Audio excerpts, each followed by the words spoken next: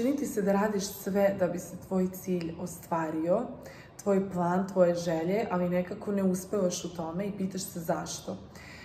Imam jedan odgovor koji je verovatno nepopularan i bit će ti veoma čudno kada budeš čuo ili čula, ali sigurna sam da kada ti objasnim ovo video da ćeš skapirati zašto je to toliko važno. A, za početak zdravo svima, moje ime je Irena Ždrnja i na ovom kanalu pričamo o međuljudskim odnosima, svojim životnim putevima i radimo na svom ličnom rastu i razvoju. A, ovim videom sam inspirisana a, pa uopšte nekim svojim životnim putem gde sam a, skapirala da je ta jedna mudrost moje majke toliko uticala na dobrobit a, i kvalitet mog života. Sigurna sam da ste i vi to čuli, da vam je možda čak majka to govorila. Nemoj da govoriš drugima. Nemoj da pričaš drugima o svojim planovima nastavi da gledaš zato što ću ti objasniti zbog čega je to tako i nadam se da primenom će se i tvoj život promeniti kao moj. A, dakle, ja sam to ignorisala jako dugo zato što sam neko ko voli da priča, voli da deli, a, posebno dobre stvari. Kad su loše stvari u pitanju, vrlo često se zatvaram u sebe, ali kada je nešto dobro, neka dobra vest, ja sam onda, uh, imam želju da svima ispričam, da sa svima podelim i celog života sam nekako tako i živela i svima sam govorila sve. Znači, to nije bilo da se kaže jednoj drugarici, to se kaže svakoj drugarici. Ako ih je 5, 6, 7, 7 drugarica zna. A, već a, neko vrijeme, rekla bih možda neki godinu, dve, to ne radim. A, I a, meni se život popravio na svim frontovima. A, dakle, o čemu se radi? A, prvo, ne trebate svima generalno pričati sve, ali pogotovo kada imate neku ideju, neki plan, neku želju, javi vam se neka ideja. Sa svakom pričom a, vi tu energiju početnu, koja je bila ovolika, a, ta vaša želja, ta vaša kreativnost, ta vaša ideja, ta vaša goruća ono, vatra u vama, se sa svakom pričom smanjuje. A, pored toga što se smanjuje, a, mi smo svi ljudi po prirodi, a, normalno je to, da možemo da osjećamo zavist. Ja verujem da na nas utiče sve, svačija energija. Ja uvek kažem a, sebi, there is no energy stronger than mine i volim da se vodim time jer ne želim da me kroz život vode strahovi. Ali, bez obzira na to što verujem da su ljudi u prirodi dobri i da, da su dobri, da tako kažem, a, mi smo jednostavno ljudi smo, znači nismo, a, nismo svemoćni a, i prosto često smo zavidni. Znači, na primjer, primjera radi, ako ti imaš, recimo, ima želju da istračiš maraton, ta ideja ti se javila, ti si, pričat ću sad u muškom rodu, na primjer, ti si ekstatičan, uzbuđen, imaš plan da svaki dan džogiraš, da radiš ovo, da radiš ono. A, mnogi tvoji prijatelji će ne namerno, nego podsvesno će kada ti njima budeš rekao tu svoju ideju i taj svoj cilj, plan, oni će podsvesno pomisliti, jao, zašto ja nemam ovoliko energije? Zašto ja nemam ovakve želje? zašto sam ja ovako letargičan? A, pomislit će, ja ako on istrči, evo ja sam debeo, sedim ispred kauča, koliko ću se tek lošije osjećati ako on ispuni ove ciljeve. Znači, to nije svesno, kao što rekao, prijatelji tvoji tebi sigurno, ja se nadam, žele dobro na svesnom nivou. Ali podsvesno kao ljudi, a, nama je kako da kažem, sad će mnogi da kažu nisi u pravu ovo ono. Ja stvarno mislim da sam ja u pravu, ali okej, okay, ajde, svako ima pravo na svoje mišljenje. Znači, opet ponavljam, ne mislim da tvoji prijatelji tebi svesno žele nešto loše, ali mi kao ljudi podsvesno imamo potrebu da budemo okruženi, okruženi ljudima koji su slični nama. I nama je okej okay da je neko malo bolji od nas, ali i tekako nam može biti zastrašujuće da je neko mnogo bolji od nas na mnogo više segmenata. Tako da, E, zato mislim da, znači, to je jedan od razloga zašto ne, zato što a, prvo, znači, ta zavist od ljudi, čak to može biti zavist od naših najbližih, od porodice, od porodice isto tako. Znači, opet ponavljam, nisu ti ljudi loši, a, to je sve na podsvestnom nivou, molim vas to utuvite u glavu.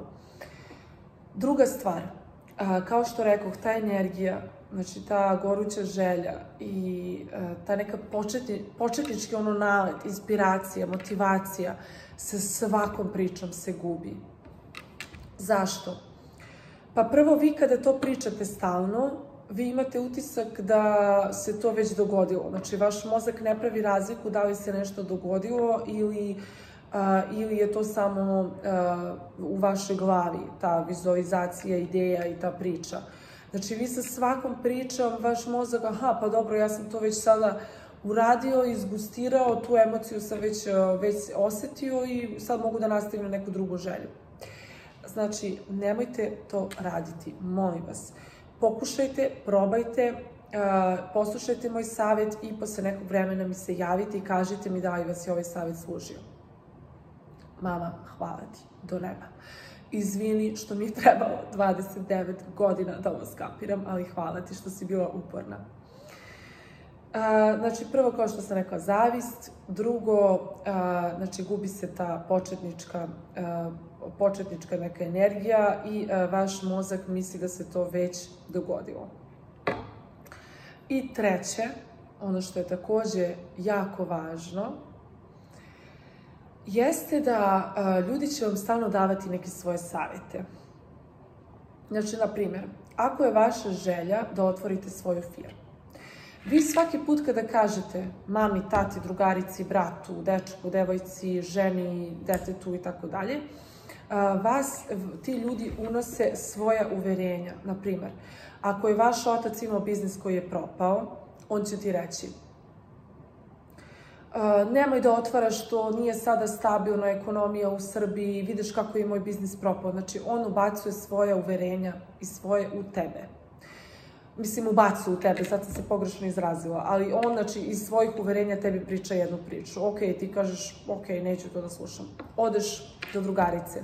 Misliš drugarica će da ti da neki bolji savet, a drugarica, na primer, mm, recimo, njeni roditelji su imali firme i neko ih je prešao, prevario za neki novac, imali su neke partnere, I ona tebi kaže, jao, nemoj slučajno, nemoj sa partnerom, ako ti sad ćeš sa partnerom, vidiš kako su moji roditelji prešli.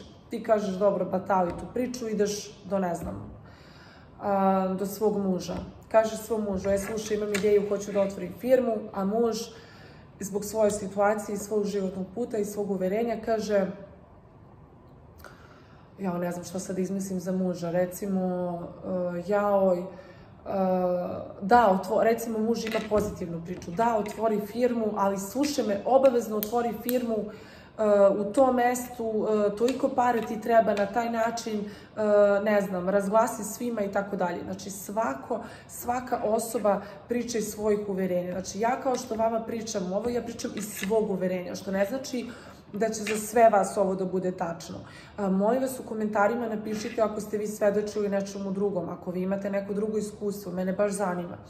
Ja sam, kažem vam, iz svog iskustva bila neko ko je svima pričao, ko je voleo da deli i nažalost meni se to nije pokazalo dobro. Meni se to pokazalo kao jako loše.